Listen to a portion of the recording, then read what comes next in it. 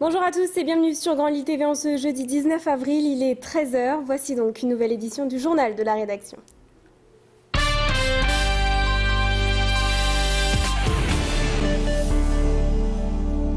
On démarre avec de la politique. J-3 avant le premier tour des élections présidentielles et François Bayrou était en meeting au Zénith de Lille hier soir. Après François Hollande ce mardi, c'est donc le candidat du Modem qui a choisi la métropole pour son dernier meeting de campagne. Il a donc prononcé un discours à la tribune ce mercredi devant près de 5000 personnes.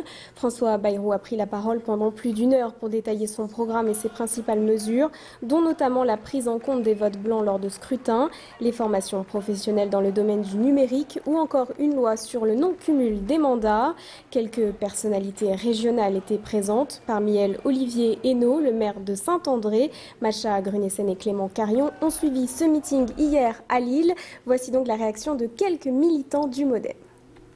Il a euh, un discours de vérité, euh, il est lucide sur euh, les problèmes à affronter et cette, lucidité lui permet de, euh, de, proposer des choses qui, euh, qui, sont euh, essentielles pour le pays. On y croit, on y croit toujours, c'est pour ça qu'on est là, on a voulu le, le soutenir. Les meetings, je les ai tous suivis, tous écoutés.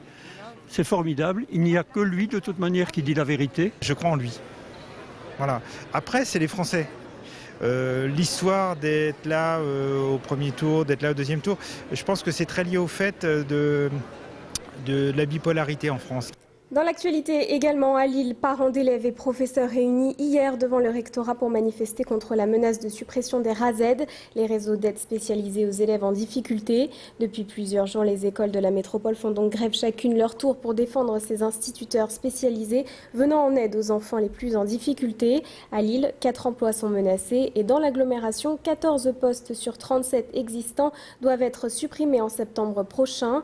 Les grévistes et leurs porte-parole ont déjà été reçus deux fois par le recteur, mais sans rien obtenir. Ils sont donc bien décidés à poursuivre le mouvement. Explication euh, donc avec Véronique Couvreur, qui fait partie du syndicat enseignant de la CGT. On l'écoute.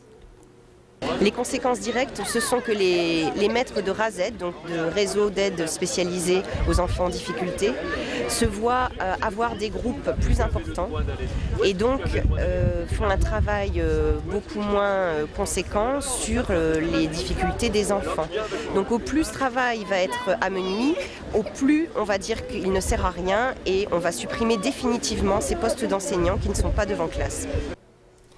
Des résidentes de la maison Vauban exposent au musée de la piscine de Roubaix. Ces femmes sont atteintes du syndrome de Korsakoff et souffrent de lésions cérébrales dues à une alcoolisation chronique. Pendant cinq mois, elles ont suivi un atelier encadré par des artistes professionnels, un travail de longue haleine qui leur permet aujourd'hui de vous présenter fièrement leurs œuvres au musée de la piscine de Roubaix jusqu'à demain soir.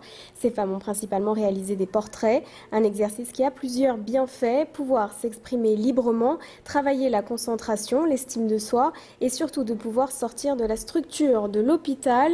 Médéric Pirquer a rencontré une résidente de la maison Vauban. On l'écoute. Ça apaise peut-être les, inquiétudes vis-à-vis de la maladie, etc. Donc euh, ça, c'est une donnée euh, très importante, quoi, l'art. Le fait de, peindre, c'est on pénètre dans un autre univers.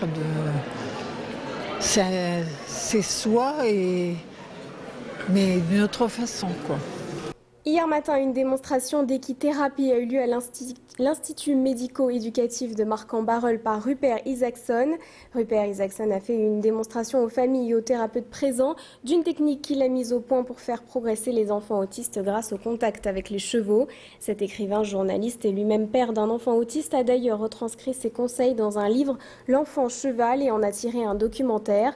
Ces deux œuvres racontent l'histoire de la rencontre déterminante entre son fils autiste et une jument. Face à l'animal, l'enfant se dévoile et parle. La famille décide alors de se rendre en Mongolie, pays des chevaux, pour approfondir la thérapie. Il entreprend également une tournée européenne actuellement et organise une autre démonstration ce jeudi à Bruxelles. On va écouter tout de suite une équithérapeute qui nous explique le principe de cette technique. Le cheval respecte l'enfant dans sa bulle parce que le langage du cheval est un langage de bulle et il perçoit tout à fait jusqu'où il peut aller vers l'enfant et il laisse l'enfant ou l'adulte venir vers lui. La relation entre le cheval et l'enfant se fait vraiment dans le respect et euh, l'apprivoisement de l'un et de l'autre, un peu comme le petit prince et le renard.